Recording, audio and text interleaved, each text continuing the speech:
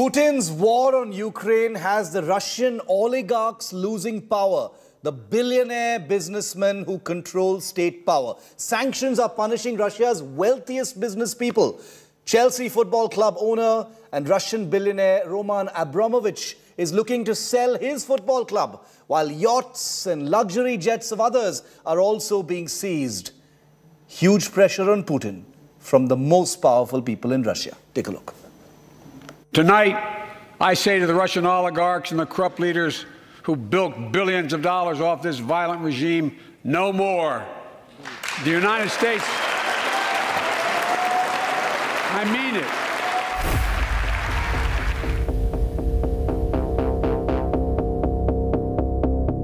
The super billionaires of Russia, numbering a mere handful, more commonly known as the oligarchs, have vast fortunes roughly equal to the wealth of the entire Russian population of 144 million people.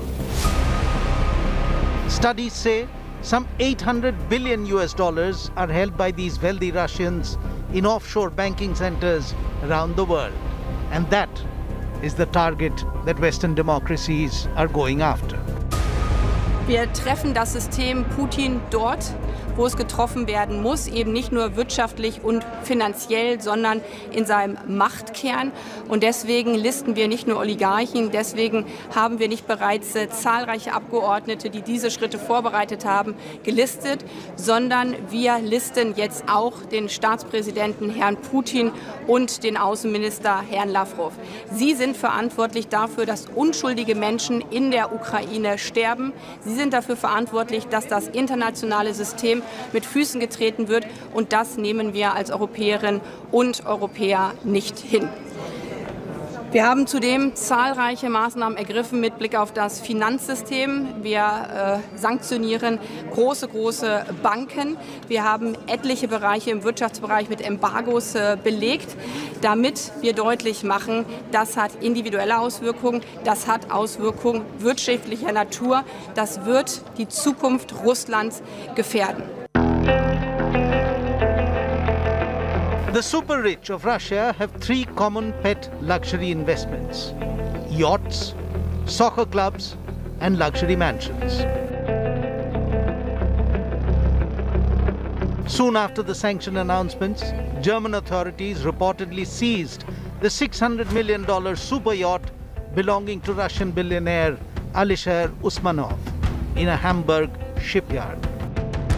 Usmanov's 156 meter yacht Dilbar is regarded as the largest motor yacht in the world.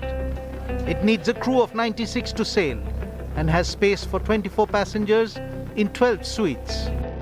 Dilbar has the largest pool ever installed on a yacht, as well as two helipads, a sauna, a beauty salon, and a gym. The Russian metal tycoon, worth an estimated $14 billion plus, recently sold his stake in the British soccer club Arsenal for a reported 700 million US dollars.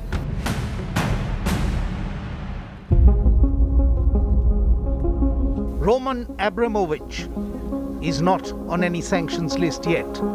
But this Russian oligarch with a net worth estimated at more than $13 billion announced that he is selling Chelsea, the Premier League football club that he owns. His 19 years of ownership turned Chelsea into an elite trophy winning machine. Chelsea is not his only prized possession.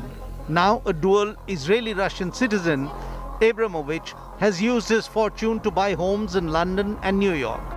He and his now ex wife frequently socialized with Ivanka Trump and Jared Kushner, the daughter and son in law of former US President Donald Trump. Abramovich also owns what is said to be the world's most expensive super yacht, the 455 foot long Solaris. It features a helicopter hangar, tennis courts, pools, and berths for about 100 guests and crew. It was completed in 2021 at an estimated cost of $600 million. Solaris is anchored in Barcelona, Spain. In fear of their possessions being seized, some Russian oligarchs have already started moving their super yachts to safer waters. Vagit Alekperov's galactic supernova left the Spanish shores to arrive in Montenegro. Alekperov is also not on any sanctions list yet.